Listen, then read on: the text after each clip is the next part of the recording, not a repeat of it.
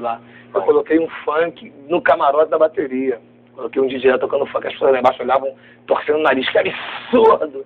Tocar um funk, uma, a bateria, a bateria acabava de tocar ali, a bateria tocava, todo mundo tocava, caramba. é, Quando acabava o intervalo, a bateria corria lá pro funk, a moleque da bateria aqui. Aí eu falava, vai lá, absurdo, fala pra eles, pergunta pra eles. É, Turma diversão, gosta, é. é a diversão do, dos ritmistas, a diversão é. E tem uma coisa que é legal, por exemplo, agora, você até falou, você tem ido no baile, eu sempre fui a muito baile com o Malboro, né? Eu entrava lá no, no carro dele, ele me levava. E o Malboro tem feito baile praticamente fora do Brasil. Então isso é uma coisa legal, porque as pessoas lá fora, sei lá, na, né, na Europa, Eslovênia, Ing- Inglaterra, não sei o quê, veem o funk carioca como uma música eletrônica. Então a gente não está exportando só samba, a gente está exportando. Você imagina o Brasil exportando música eletrônica. Então, É. para eles, o funk é uma música de pista, né? Uma música eletrônica. Fui, é fui em Paris, sensacional. fui em Paris num, no Favela Chique, no show do Catra. Entrei de graça porque meu amigo brasileiro, ninguém mais ninguém, ninguém tava pagando lá, porra, 150 euros pra ver o Catra cantar em Paris. Poeta do funk. Poeta do funk. Pode crer.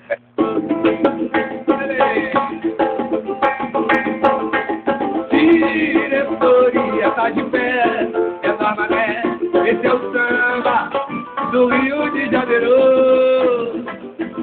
O lema é paz, justiça e liberdade, 100% humildade, sem neurose, sem calor. Tô vivendo, vou levando no talento para a vida melhorar. O clima aqui está difícil.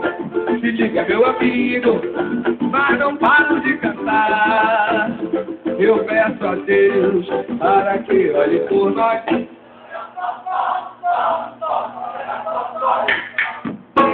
Já teve vários amigos, mas não calaram a minha voz. Sou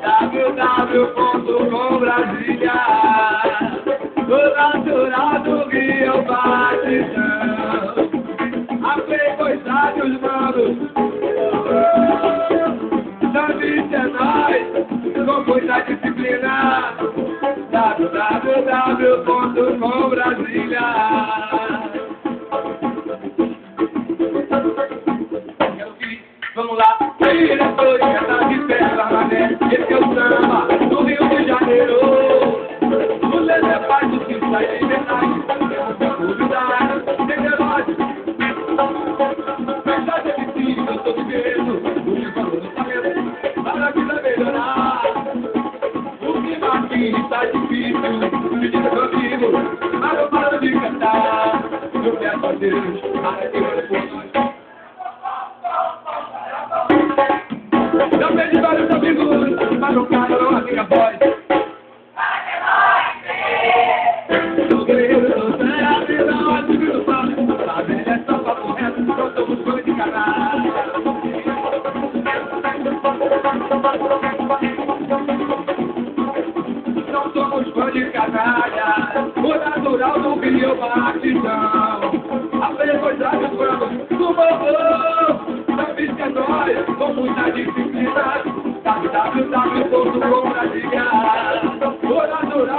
Rio Batidão. A dos manos do mamão. Sabe que é nós, com muita disciplina. www.com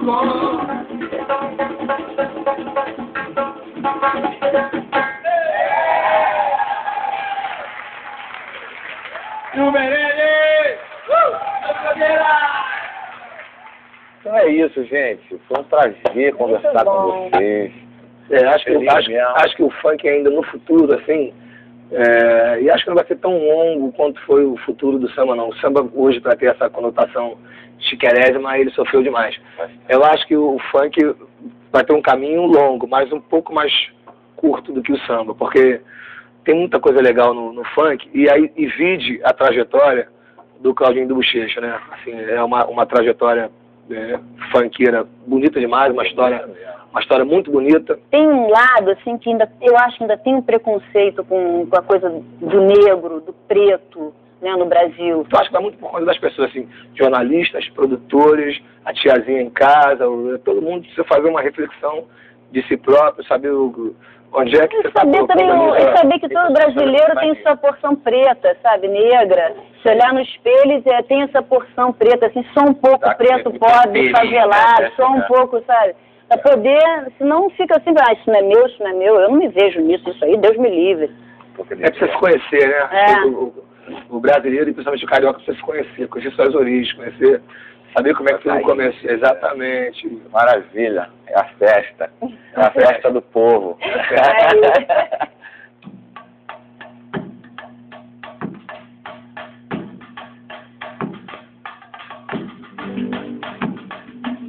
Mangueira, teu cenário é uma beleza que a natureza criou. Oh, oh. O morro com seus barracões de zinco, quando amanhece,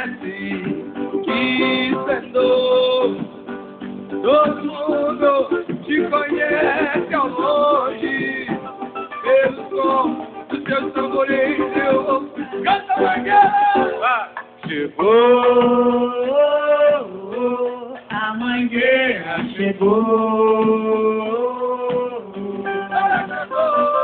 Chegou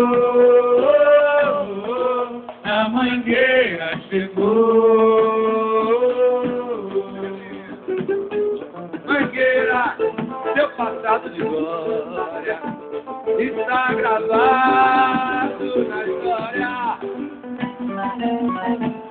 É verde rosa a cor da sua bandeira, pra mostrar essa gente que o samba vai vai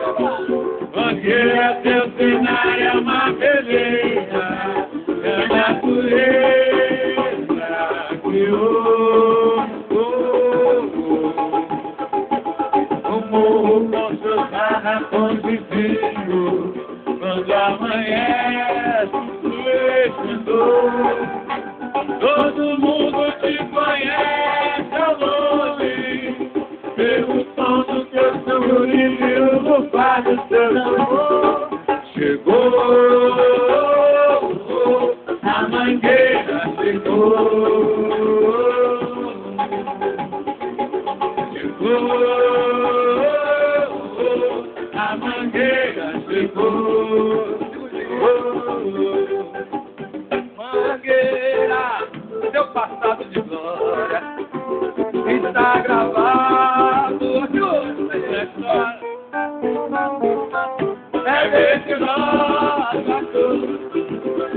pra mostrar essa gente que o samba vai mangueira.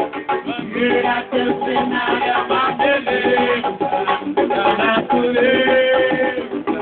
Criou.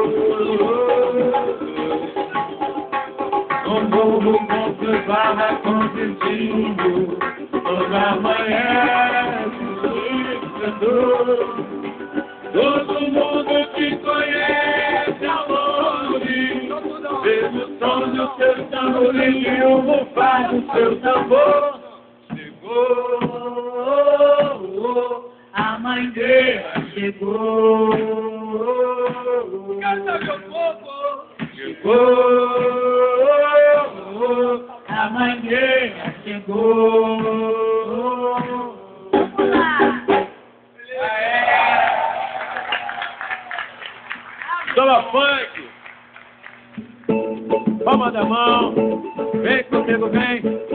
Samba da cantora. Cheira mais.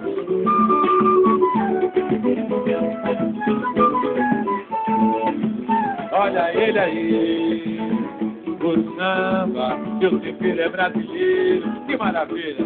coisa boa, então vem pra cá curtir. Não fique à toa, quero ouvir bem forte, é o quê? É o samba. Olha ele aí, olha ele aí. Vem, o samba, seu tempero é brasileiro. Que coisa boa, então vem pra cá curtir. Fique à toa, mais uma vez, vai! É o samba na gamboa. Eu canto assim no asfalto do povo da avenida Pra falar da vida e dos malandros da história De saudade acabou, de alegria e paixão Das forças do coração A seguir, arte com Sérgio Brito. Na política do samba, só existe um partido. É o Partido Alto.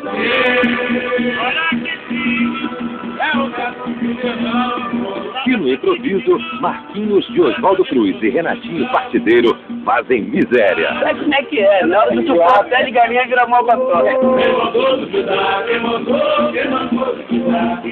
Samba na Gamboa. Próxima terça, 11 da noite. Todo quebra desse aí! Todo...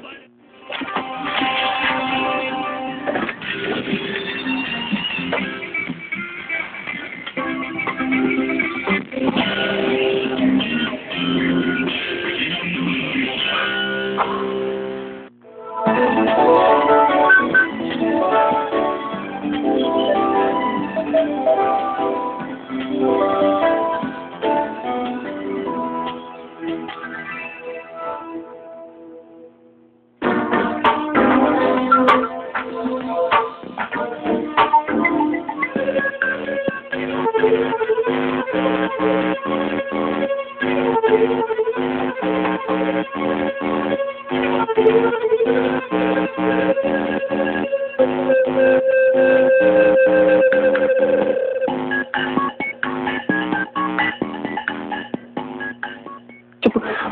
Na cabide mesmo, aqui. Você chega essa prateleira pro lado aqui e passa filme aqui de madrugada. Eu vou falar com Carlos Vinícius Borges, que tem um apelido delicioso, Cavi. Cavi. Esse moço aqui é uma história muito interessante. Começa com o judô. Né? Aos 15 anos você era faixa preta. Sim, eu, comecei muito cedo, comecei com 3 anos de idade. Era uma criança muito imperativa. Minha mãe me botou no judô para ficar mais calmo, cansar e não dar trabalho quando eu chegasse em casa. Então eu comecei a gostar, gostar, comecei a levar a sério, comecei a competir, viajar pelo mundo e peguei a faixa preta com 15 anos e continuei até 25 anos fazendo. Lutando, viajando, competindo. Quase que fui para as Olimpíadas, em 96 para Atlanta, quando me machuquei. Ah, em 96. E aí eu tive a ideia de abrir uma locadora, né? Porque eu fiquei parado, não, pude não pude Mas viajar. isso não tinha nada a ver com cinema até então. Não, nada a ver. Eu sempre fui um cara meio empreendedor, assim, eu sempre é, arranjei coisas para fazer para ganhar dinheiro, para pagar minhas viagens para fora, para conseguir meu dinheiro. E aí eu achava que uma locadora poderia ser uma forma de ganhar dinheiro. Não, com certeza. aí eu ia abrir a locadora ia ser só de, de filmes de artes marciais, que era o que eu gostava. É, porque de cinema você não entendia nada Não ainda. entendia nada. Eu comecei a entender com os próprios clientes. As pessoas iam lá na loja pedir os filmes, e aí eu, ah, tem o filme do Fellini, do Tarkovsky, do Kubrick, eu não Em conhecia. 97 começou no Cobal do Maitá, não foi? Foi, na Lacobal do E Maitá. o- os clientes começaram a pedir filmes de arte. Sim.